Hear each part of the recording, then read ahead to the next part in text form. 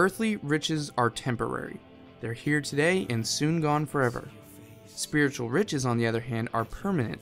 They're ours today, tomorrow, and throughout eternity.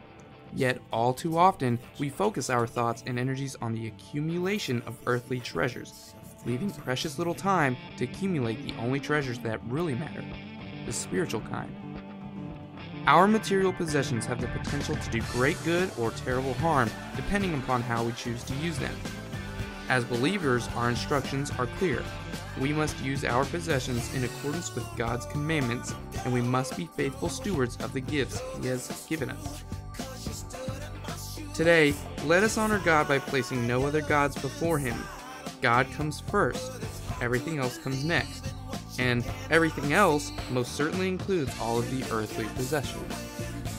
St. Augustine has said no one is truly happy if he has what he wants, but only if he wants something he should have. Today's timely tip is materialism made simple. The world wants you to believe that money and stuff can buy happiness. Don't believe it. Genuine happiness comes not from money, but from the things that money can't buy, starting, of course, with your relationship to God and His only begotten Son. Make sure to read the proverb in the description below and subscribe if you haven't already.